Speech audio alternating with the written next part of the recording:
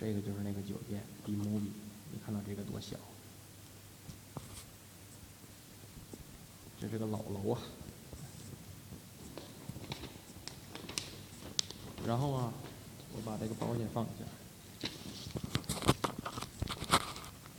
我我还是今天去奥斯维辛吧，因为明天那个他们那个放假。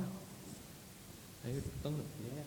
明天他们那个奥斯维辛放假，我就给今天去。今天去完之后呢，今天回来才行。啊，他跟我说这四十分钟，我估计给一个小时。